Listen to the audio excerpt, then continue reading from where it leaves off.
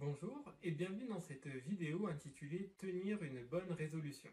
Je suis Adrien Calves, j'ai exercé des fonctions de case manager au centre de santé mentale et de réhabilitation psychosociale du docteur Romain Padovani à Toulouse et je suis aujourd'hui engagé dans un cursus universitaire pour devenir psychologue spécialisé en neuropsychologie et en thérapie comportementale et cognitive. Les objectifs de cette vidéo vont être multiples, elle va vous permettre de déterminer le bon moment pour vous lancer dans votre bonne résolution, mais elle va aussi vous aider à faciliter sa mise en œuvre et elle va aussi favoriser vos chances de maintenir votre bonne résolution dans la durée. Pour atteindre cet objectif, j'ai prévu un plan en trois parties. La première sera théorique. Je répondrai à la question faut-il se fier à sa motivation? Dans les deux autres parties qui seront plus pratiques, nous déterminerons quand se lancer, et nous verrons enfin comment maintenir sa bonne résolution dans la durée. Pour cela, je vous proposerai trois techniques, les petits pas à effet domino, l'agencement avec les routines existantes et enfin le plan d'action. Nous allons donc commencer par la motivation et pour mieux comprendre ce qu'est la motivation, il faut avant tout apprendre à la distinguer de la volonté. La volonté, c'est un concept qui est cognitif et qui n'est donc pas comportemental. Autrement dit, si je résumais la volonté en une phrase, je dirais que c'est ce qu'on aimerait faire. La volonté, ça se passe dans la tête, dans les pensées, mais il faut aussi savoir que la volonté, elle va orienter la motivation. Et je pense que je ne vous apprends rien en vous disant qu'on a plus de chances de faire quelque chose si on le veut vraiment. De son côté, la motivation, c'est un concept qui est fondamentalement plus comportemental. La motivation, c'est ce que je fais. On est vraiment dans l'action. Par exemple, dans la dépression, l'un des symptômes majeurs de cette maladie, c'est le manque de motivation.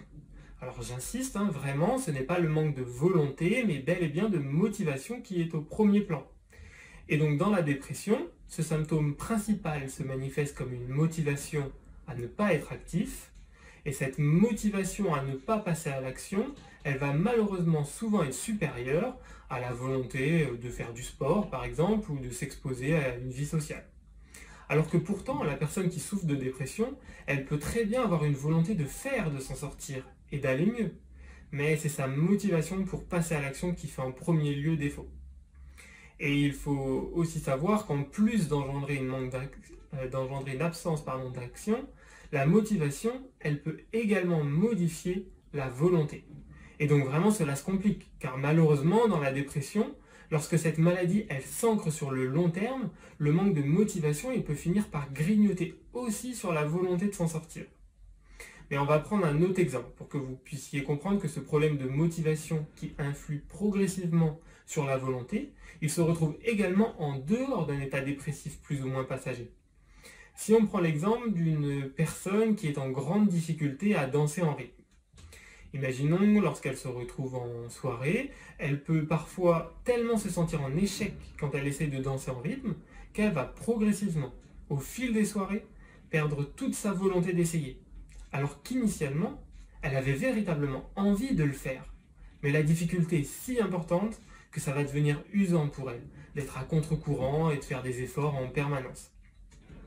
Il faut donc retenir que si on a trop de difficultés à faire quelque chose, comme une bonne résolution trop difficile par exemple, eh bien on va très facilement perdre notre motivation de passer à l'action, mais en plus, à force que cela se répète, ça va également épuiser notre volonté, et donc drastiquement minimiser nos chances vis-à-vis -vis de la réussite de cette bonne résolution. En résumé, lorsqu'une bonne résolution est trop difficile, elle finit par vous ancrer dans un état psychique à la fois non volontaire et non motivé. Et vous conviendrez facilement que dans cette situation, c'est encore plus compliqué de tenir sur la durée votre bonne résolution. Donc avec tout ce que je viens de vous expliquer, vous pouvez mieux comprendre deux choses. Un, avoir une volonté de faire, ce n'est malheureusement pas toujours suffisant. Et deux, la motivation est différente et elle joue un rôle important pour passer à l'action. Et en conséquence en fait de ces deux points, vous pouvez très bien être volontaire et motivé, auquel cas ça sera bien plus facile de vous lancer et de réussir votre bonne résolution, mais vous pouvez également être non volontaire et non motivé.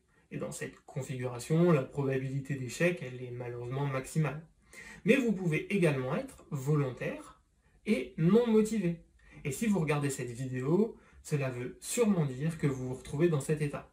C'est-à-dire que vous avez envie, ou vous avez eu envie, de mettre en place une bonne résolution, mais que c'est difficile pour vous de le faire. Et vous êtes donc au bon endroit pour vous aider à changer cela et ainsi réussir à tenir votre bonne résolution.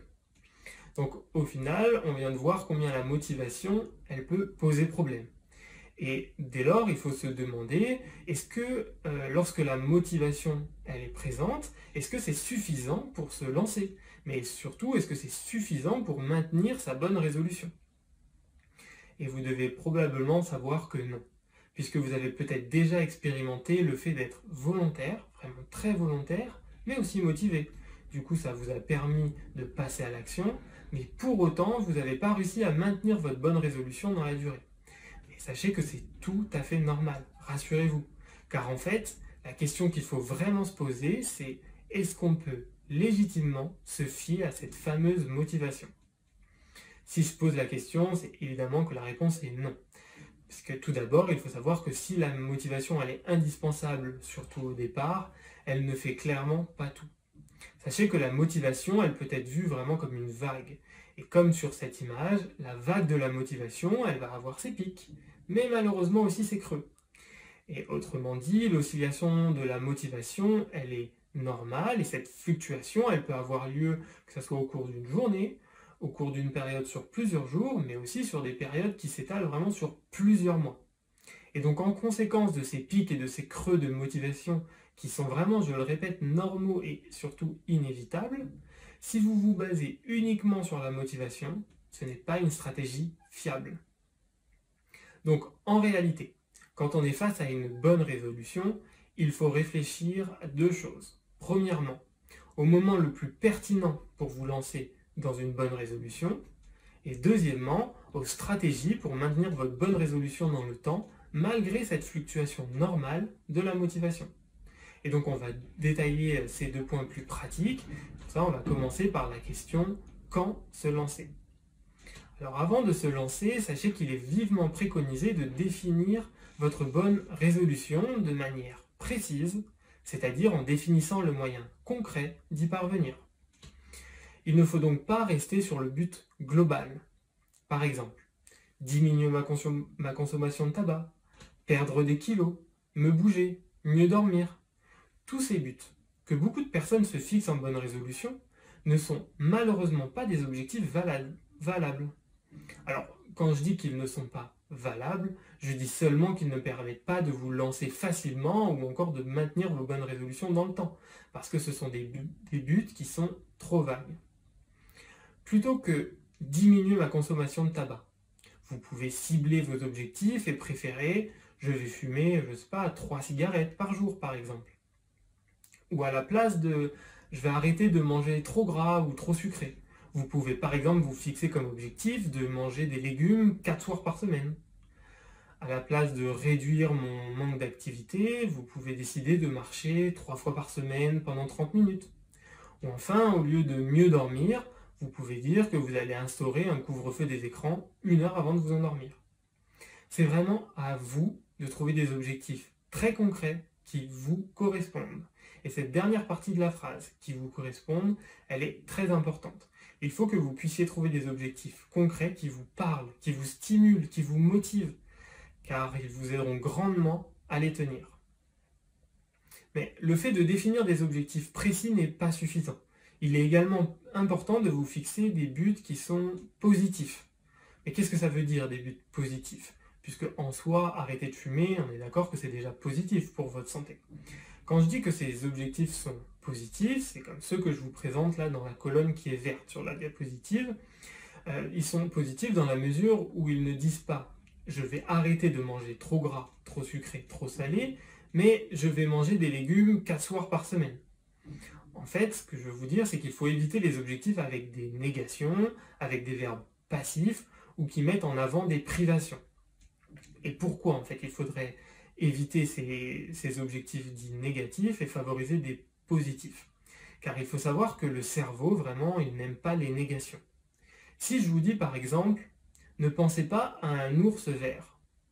De toute façon, ça n'existe pas un ours vert, donc c'est vraiment inutile de le visualiser. Ou si je vous dis, surtout, là, ne pensez pas à votre respiration. Maintenant, ayez, s'il vous plaît, une respiration fluide, sans la contrôler, sans vous rendre compte que vous êtes en train d'inspirer peut-être un peu plus vite que vous n'expirez. Vraiment, hein, j'insiste, ne vous souciez pas de votre respiration. Bon, je n'ai pas besoin de m'autoproclamer devin pour savoir que euh, ça n'a pas du tout marché. Et que vous avez très probablement visualisé l'ours vert. Vous avez évidemment aussi pris conscience de votre respiration qui du coup n'était plus du tout naturelle au moment où je vous en ai parlé. Et pourquoi j'ai fait ça? Pour vous montrer combien c'est important de se focaliser sur un objectif qui est positif, pour que votre cerveau il mémorise la direction de votre bonne résolution, plutôt qu'il ne visualise un objectif négatif qui va déjà ancrer des difficultés dans votre tête. Si vous vous dites par exemple, je ne veux pas aller sur les réseaux sociaux une heure avant de me coucher, votre cerveau, lui, automatiquement, il va activer sa mémoire des réseaux sociaux et il va vous créer inconsciemment le manque de ce plaisir lié au moment que vous passez sur votre téléphone, sur vos réseaux sociaux. Donc forcément, ça va accentuer vos difficultés pour tenir votre bonne résolution. En résumé, avec notre cerveau, la raison, vraiment, elle ne suffit pas toujours. Même si on veut mettre en place une bonne résolution, car on sait qu'elle est bonne pour nous, comme par exemple faire plus de sport, on sait que c'est bon pour notre santé physique, mais pas que. Mais malheureusement, avec notre cerveau, ce n'est pas toujours suffisant. lui, il ne va pas toujours nous faciliter la tâche. Et il faut savoir le contourner par des petites techniques souvent simples, comme le fait de fixer des objectifs qui sont précis et positifs. Donc vraiment, c'est très important pour pouvoir vous lancer. Et une fois que cette étape, elle va être réalisée, vous allez enfin pouvoir déterminer si c'est le bon moment pour vous pour vous lancer. Et pour ça, euh, je vous invite vraiment à répondre le plus honnêtement possible à ces trois questions que vous voyez apparaître à l'écran. Il y en a une sur la volonté, une sur la confiance en soi et une sur le timing. Sur la première, il faut vous demander si vous avez la volonté de réaliser votre bonne résolution. Comme par exemple, est-ce que vous avez la, la volonté de marcher trois fois par semaine pendant 30 minutes? Après, il faut vous demander, est-ce que vous pensez avoir les capacités physiques et ou psychiques, hein, ça va dépendre de, votre bonne euh, résolution, de marcher trois fois par semaine, par exemple pendant 30 minutes. Et enfin, il faut vous demander, est-ce que c'est le bon moment pour vous de mettre en place cette bonne résolution? Et alors, pour chacune euh, de ces questions, vous pouvez utiliser comme ça une petite échelle que vous voyez euh, là sur, sur l'image, qui va de 0 à 10, et vous vous demandez est-ce que c'est tout à fait vrai ou pas du tout vrai? Euh, si vos scores ils sont inférieurs à 7, pour euh, que ce soit sur l'une ou l'autre des, des, questions, il est vraiment conseillé d'essayer d'augmenter votre score avant de passer à l'étape suivante. Et comment faire? Alors là, il y a plusieurs petites techniques. Si c'est votre volonté qui est inférieure à 7 sur 10, vous faites preuve en fait de ce qu'on appelle une certaine ambivalence qui va être plus ou moins forte face à ce changement que vous voulez initier. Et moi, je vous invite donc à réaliser ce qu'on appelle une balance décisionnelle. C'est un tableau qui va vous aider à vous engager plus facilement sur le, chemin du changement que vous souhaitez. Comme vous pouvez le voir, il s'agit d'un tableau en fait à quatre entrées, donc quatre colonnes. Et moi, je vous invite à commencer par les colonnes externes, les freins au changement, ceux qui sont en rouge, et je vous invite donc à terminer par les moteurs au changement au milieu qui sont en vert. Si par exemple vous décidez d'instaurer un couvre-feu des écrans de 30 minutes avant de vous endormir pour améliorer votre sommeil. Alors là vous prenez euh, si je ne passe pas à l'action, donc c'est-à-dire si je n'instaure pas ce couvre-feu, demandez-vous quels sont les avantages au fait de ne pas, euh, de ne pas instaurer ce couvre-feu. Et donc vous remplissez la case des freins au changement. Ça pourrait être que si vous n'instaurez pas ce couvre-feu, vous allez être informé si vous recevez une notification sur votre téléphone. Ou peut-être que vous n'allez pas vous ennuyer avant de vous endormir parce que vous aimez passer du temps sur votre téléphone. Une fois que vous avez fini de remplir cette euh, case, vous pouvez passer de l'autre côté. Si je passe à l'action, c'est-à-dire si j'instaure ce couvre-feu, et là, pareil, vous allez sur euh, du coup les au changement, mais cette fois-ci ce sont les inconvénients. Quels sont les inconvénients pour vous à instaurer ce couvre-feu? Alors ça risque d'être un petit peu redondant avec l'autre case, mais vous verrez c'est utile, parce que ça peut faire émerger de nouvelles idées, en prenant comme ça par un nouvel axe. Euh, vous allez sûrement voir apparaître des arguments auxquels vous n'auriez pas pensé déjà avec l'autre code. Et une fois que vous avez fait ça, vous allez sur euh, les moteurs du changement, c'est-à-dire si je ne passe pas à l'action, quels sont les inconvénients pour moi? Et enfin, si vous passez à l'action, donc si vous avez instauré ce couvre-feu, quels sont les avantages? Bah, par exemple, vous pourrez euh, avoir un sommeil de meilleure qualité, vous serez sûrement moins irritable en journée, moins distrait au boulot, moins de difficultés pour vous endormir, vous allez pouvoir prendre plus de temps pour vous en fin de journée. Lissez tous les avantages qui peuvent survenir du fait de passer à l'action. Avec cette balance décisionnelle, ça va sûrement faire bouger, de mettre comme ça les choses sur papier, ça va un petit peu faire bouger les choses, et vous allez voir si votre volonté, elle, aura, elle sera passée au-dessus de 7 sur 10. Pour ce qui est de la question de la confiance en soi, si elle est inférieure à, à 7, on est très certainement sur un travail plus psychothérapeutique pour augmenter votre score. Et à ce titre, moi, je vous, invite à lire ces deux livres de psychoéducation qui sont très bien faits à ce sujet. Je vous les remettrai en fin de, vidéo dans la bibliographie. Si c'est le timing qui est inférieur à 7, demandez-vous pourquoi ce n'est pas le bon moment. Peut-être que c'est effectivement, objectivement, pas le bon moment.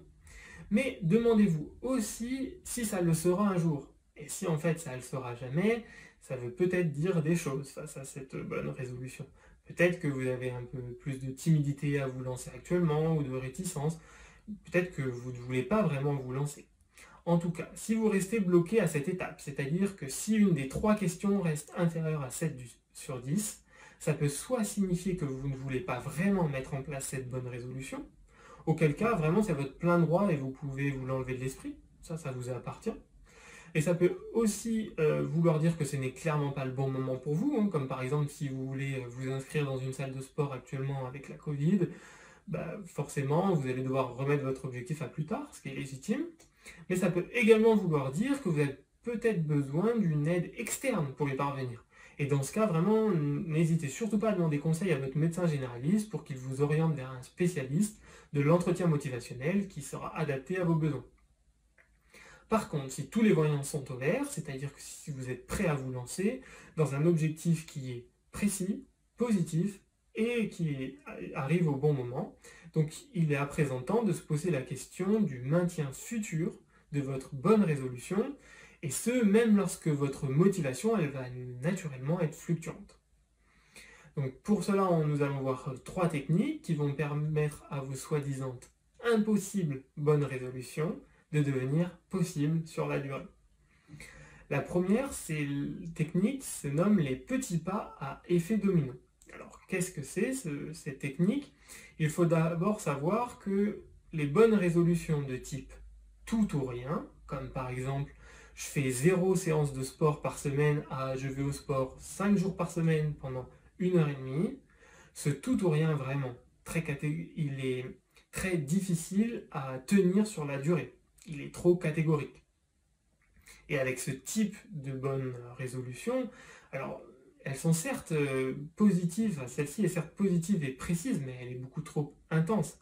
De le fait, euh, ce type de résolution trop intense, elle va conduire plus fréquemment à casser votre contrat de bonne résolution que vous avez passé avec vous-même.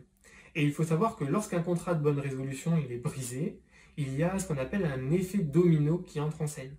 C'est un peu comme si tous les efforts depuis le début, ils s'écroulaient un à un. En mettant fin à un cercle vertueux, par effet domino, cela devient alors nettement plus difficile de repartir de l'avant. Il faut savoir que les sportifs, ils connaissent bien ce phénomène de l'effet domino, qui peut d'ailleurs être positif comme négatif. Et je vais illustrer les deux dans un même exemple. Au foot, lorsqu'une équipe qui est objectivement plus forte qu'une autre elle domine tout le match et elle gagne 2-0. Si elle encaisse un but à la 80e minute, alors les 10 dernières minutes, elles vont très probablement devenir plus difficiles. Même si leur adversaire y possède de moins bons joueurs dans leur effectif, l'équipe qui gagne, elle voit alors son cercle vertueux être brisé et par effet domino, cela va très certainement l'amener à douter et à éprouver de vives difficultés pour fournir encore plus d'efforts et ainsi espérer repartir de l'avant. A l'inverse, pour l'équipe qui perd, elle n'avait plus beaucoup d'espoir euh, de gagner le match à 10 minutes de la fin. Mais les joueurs ont malgré tout atteint un sous-objectif, à savoir, ils ont réduit le score en marquant un but. Ce contrat étant rempli, par effet domino, ils vont très certainement trouver plus facilement la volonté d'aller encore plus loin avec un autre objectif plus dur, qui est alors d'égaliser dans cette situation. Toute l'équipe qui perd, elle a ainsi revigoré, ancrée dans un cercle vertueux qui lui permet d'aller encore plus de l'avant. Et donc, qu'est-ce qu'il faut euh, retenir de cette comparaison? C'est qu'au vu de cet exemple, qui est certes un peu caricatural, je vous l'accorde, notamment parce qu'on sait qu'il y a d'autres facteurs qui peuvent entrer dans le jeu dans cette situation. Mais en fait, j'ai souhaité vous faire comprendre combien il est clairement plus judicieux de commencer par des sous-objectifs progressifs, plus faciles à réaliser. Non seulement, avec cette technique des petits pas, il sera plus difficile de briser votre contrat de bonne résolution que vous aurez passé avec vous-même, et donc il vous sera plus rare de vous ancrer dans un cercle vicieux par effet domino négatif, mais en plus, vous serez plus motivé à aller chercher progressivement d'autres sous-objectifs vertueux, plus difficiles, par effet domino positif. C'est donc vraiment un double gain qui vous attend avec les petits pas. Autrement dit, il est vraiment préférable de réussir à chaque coup son objectif, plutôt que de commencer trop fort, trop rapidement, et de finir malheureusement par s'essouffler. Au final, peu importe le temps que vous allez mettre pour atteindre vos objectifs avec les petits pas, du moment que la direction soit la bonne. La deuxième technique que nous allons étudier, que nous allons voir, est l'agencement. C'est une technique qui consiste à se servir d'une routine existante pour déclencher une nouvelle routine que vous voulez adopter et ainsi ne pas l'oublier. C'est une stratégie qui peut paraître vraiment simpliste, je vous l'accorde, mais sachez qu'elle peut être très puissante. Et elle est tellement simple à mettre en œuvre que ça serait dommage de ne pas bénéficier de ses effets positifs. Pour cela, je vous invite à remplir un premier tableau de bonnes résolutions que vous voulez adopter et de n'en choisir qu'une, ou vraiment deux maximum. Pour savoir comment choisir, vous pouvez coter leur, intensité selon le bénéfice que cette bonne résolution peut vous apporter. Vous pouvez mettre une note sur 10 et ainsi choisir celle ou les deux, mais vraiment pas plus. J'insiste, sinon ça ne sera, quoi qu'il arrive, pas un petit pas à effet domino si vous avez trop de bonnes résolutions en même temps. Et donc je vous invite à, les coter sur 10 et à choisir celle qui se rapproche le plus de 10. Et une fois que cette étape est faite, je vous demande de passer au deuxième tableau, c'est-à-dire de lister vos habitudes quotidiennes, vos routines. Et grâce à ces deux tableaux qui vont être remplis, vous allez ainsi pouvoir associer une de vos routines déjà en place avec la réalisation d'une bonne résolution pour ainsi faciliter sa mise en action. Par exemple, après vous êtes brossé les dents le matin, vous pouvez dire je vais faire une vidéo de méditation de la psychiatrie au soleil. L'idée, c'est ici de l'agencer soit avant, soit après une routine qui est déjà existante. Et c'est vraiment plus puissant qu'on ne le pense pour maintenir ses efforts dans la durée et pour lutter contre la fluctuation naturelle de la motivation. Toutefois, cette euh, technique, elle n'est pas toujours possible suivant le choix de vos bonnes résolutions. Mais lorsqu'elle est possible, vraiment n'hésitez pas à la mettre en place. Elle est vraiment très simple à faire. Enfin, la dernière technique, qui est elle aussi très, importante, euh, elle s'appelle le plan d'action. Pour ce faire, vous allez commencer par répondre aux trois questions euh, que vous voyez là dans le tableau. Donc par exemple, si vous choisissez que votre bonne résolution est de courir trois matins par semaine pendant 10 minutes. Donc là, on est dans les petits pas, on commence par 10 minutes et puis vous prendrez le temps d'aller de plus en plus vers des objectifs un peu plus élevés si c'est ce que vous souhaitez. Mais donc, une fois que vous avez choisi cet objectif, donc courir trois matins euh, par semaine pendant 10 minutes, posez-vous de, façon très concrète les questions où, quand, comment. Où, c'est-à-dire bah, quel sera le lieu, par exemple, de la course dans tel parc ou près de tel cours d'eau. Quand bah, Je ne sais pas, par exemple, vous pouvez dire que vous allez courir les lundis, les mercredis et les dimanches matins. Et comment? Et bien là, dans ce cas-là, vous pouvez vous dire, il me faut une paire de chaussures, donc je vais aller m'acheter telle paire tel jour, je vais aussi m'acheter des tenues adaptées au cas où il se met à pleuvoir ou ce genre de choses. Où, quand, comment Ces trois questions sont primordiales pour maximiser vos chances de tenir vos bonnes résolutions dans la durée. vous l'ancrez déjà dans votre cerveau pour minimiser les effets de la fluctuation normale de la motivation. Mais ce n'est pas tout. Cette motivation fluctuante, elle peut être très robuste pour altérer votre volonté au moindre obstacle.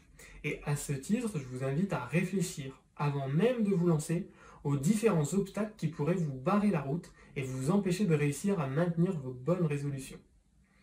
Donc là, vous pourrez remplir un tableau comme je vous le présente, où d'un côté, vous essayez de réfléchir aux obstacles qui peuvent s'opposer à votre course de 10 minutes euh, trois fois par semaine, et de l'autre, vous allez réfléchir aux manières où vous pourrez la dépasser. Alors, j'ai volontairement pas rempli devant vous la case comment on va pouvoir le dépasser, puisque c'est vraiment quelque chose qui est très individuel. Il n'y aura pas de solution type. La seule solution qui sera importante, c'est celle qui vous correspondra. Mais euh, si, imaginons qu'on dise euh, j'oublie d'aller courir, ça soit un des obstacles. Vous, vous avez fixé lundi matin, et le lundi matin, vous n'y avez pas pensé. Alors là, vous pouvez utiliser des rappels comme des alarmes ou des applications. Ça, ça peut être une solution pour vous. Vous pouvez utiliser la technique de l'agencement, vous pouvez préparer la veille ou soir vos affaires de sport. C'est à vous de trouver vos solutions du coup. Imaginons que vous manquiez d'envie d'aller courir. Bah, vous pouvez peut-être trouver des buts complémentaires comme profiter du soleil et des bénéfices de la luminothérapie. Euh, vous pouvez dire que c'est un bon moment pour s'aérer, surtout dans des périodes un peu compliquées avec la Covid. Vous pouvez aussi euh, vous dire que ça va être le moment pour moi d'écouter un album que je ne prends pas le temps de faire. Mais vous pouvez aussi inviter des amis ou votre famille pour pratiquer avec eux et passer du temps avec quelqu'un. Si jamais c'est, imaginons que ce soit la météo qui soit inadaptée, vous vous réveillez, il pleut et vous ne voulez pas aller courir. Bah, vous pouvez du coup Imaginez, regardez chaque dimanche soir la météo et programmer vos sorties en fonction.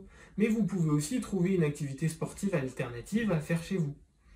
L'idée, c'est vraiment de prévenir en fait vos éventuelles difficultés et de trouver des solutions qui vous correspondent et qui font que lorsque l'obstacle arrivera, elles seront efficaces.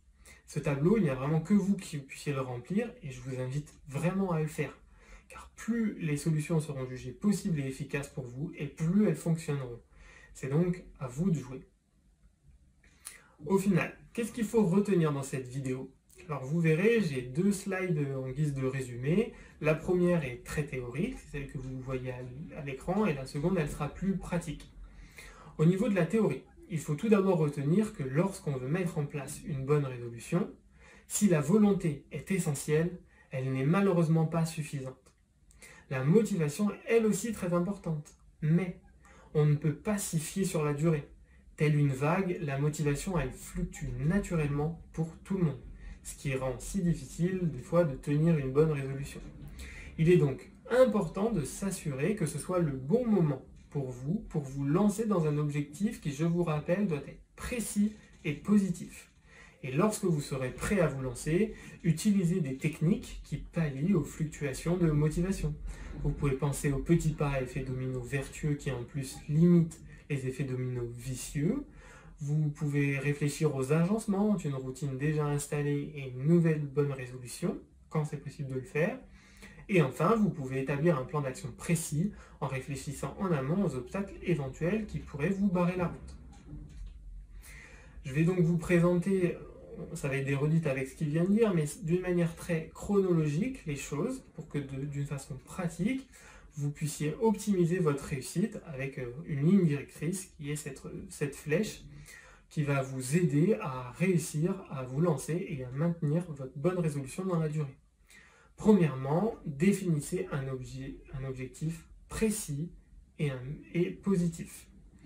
Dans une logique de petits pas à effet domino vertueux, et ensuite, une fois que vous aurez fait ça, vous pourrez déterminer si c'est le bon moment pour vous pour vous lancer. Je vous rappelle qu'il y a trois questions à se poser, une portant sur la volonté, l'autre sur la confiance en soi, et la dernière sur le timing. Lorsque tous les voyants sont au vert, vous pouvez utiliser la technique de l'agencement, si elle est possible, et enfin, je vous invite à établir un plan d'action, plus à réfléchir aux solutions que vous pouvez d'ores et déjà apporter aux futurs obstacles qui se présenteront à vous plus vous serez dans la prévention et plus vous allez maximiser vos chances. Je vous présente à présent une bibliographie, donc vous verrez il y a surtout un ouvrage, un rien pour tout changer. Les deux autres, on est sur les ouvrages que je vous avais parlé tout à l'heure sur la confiance en soi. Et donc, euh, avec cette vidéo et avec cette bibliographie additionnelle, vous avez à présent toutes les armes pour vous lancer, mais surtout pour tenir votre bonne résolution dans la durée. Alors, il ne me reste plus qu'à vous souhaiter de beaux changements dans vos vies. Merci pour votre écoute.